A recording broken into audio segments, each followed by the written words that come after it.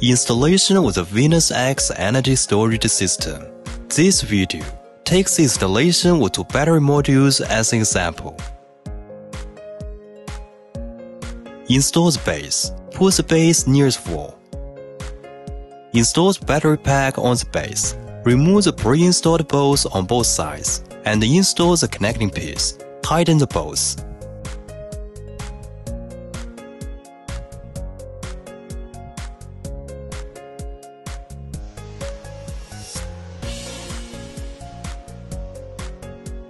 DIP switch setting. Take out the bolt on the maintenance port. Remove the protection plate and dial the DIP switch of the battery to the position of slave machine number 1. At the same time, plug the RS485 network cable to RS485 port. Cover the maintenance port and lock the bolts.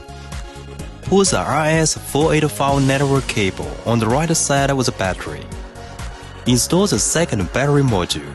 Install the battery pack on the top of the first battery module. Remove the pre-installed bolts on both sides. And install the connecting piece. Tighten the bolts. Put the RS485 network cable on the left side of the battery. No DIP switch setting is required for default host machine.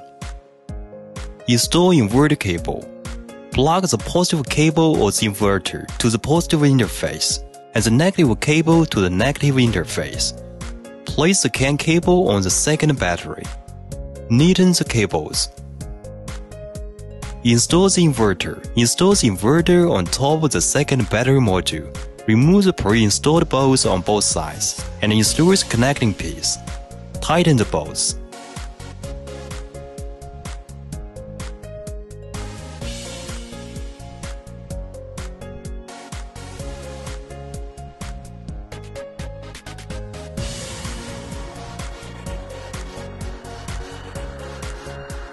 Communication cable connection.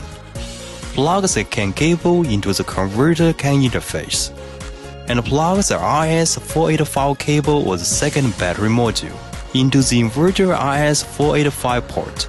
Plug the other end with the CAN cable to the second battery CAN port, and plug the RS485 cable or the first battery module to RS485 port of the second battery. Power cable connection.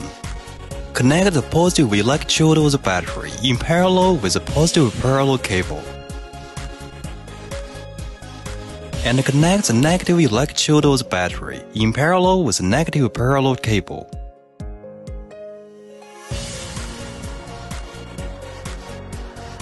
Connect the positive cable of the inverter to the positive port of the inverter battery, and connect the negative cable to the negative port of the battery.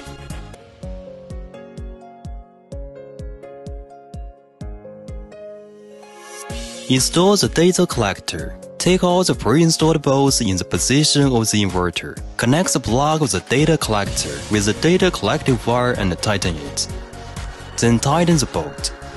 Screw the data collector antenna to the data collector.